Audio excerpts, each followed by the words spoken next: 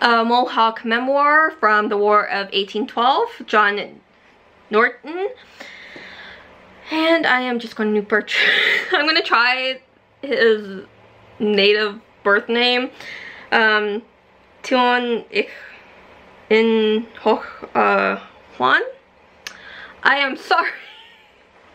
I'm sorry, hopefully somebody can, like, tell me, like, the spelling kind of pronunciation, pro how to say it word-wise in the comments.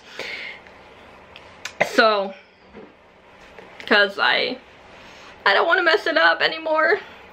So, you get um, abbreviations. Um, you get two maps. So the Iroquois Lower Great Lakes, 1812 to 15. Six Nation Iroquois, 1812 to 15. You get an introduction to like the memoir, term terminology, numbers. Um, so a little bit of his early life and transformation into Mohawk leader. So that's likely his leader name. Either way even after a little while of reading, um, I still forget. But, and then you get into the memoir and an epilogue. So, you get John Norton in Upper Canada and Great Britain and then his final years. So, in this you get pretty much what John Norton has written with um, yeah, introduced and annotated and edited introduced, annotated, and edited by Carl Benn. So you get the annotations um, by Carl. So sometimes like right here, up to where my finger is, is John Norton's writing. And then here is just like information and other things um, that Carl Benn has put in um, extra information about that day that John wouldn't have known at the time. And so you get like further reading type of um, information.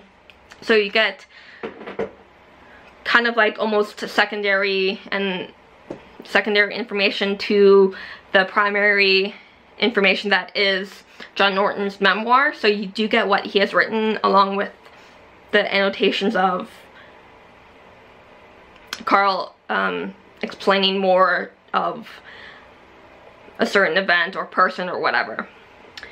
So you get some history and background of what was going on um, before and the landscape of the land.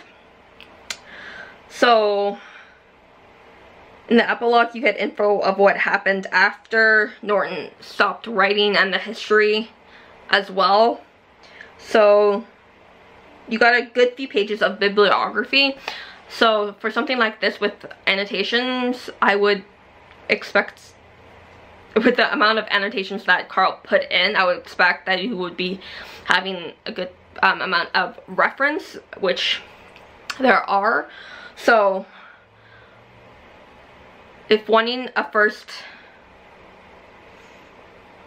if wanting to read a biography memoir of what happened in 1812 native aboriginal kind of history or in like their involvement in the situation and everything um, this can be a really nice like if you really are into that history um, this can be a very nice introduction or addition to whatever other resources that you have my camera does not want to agree with me today.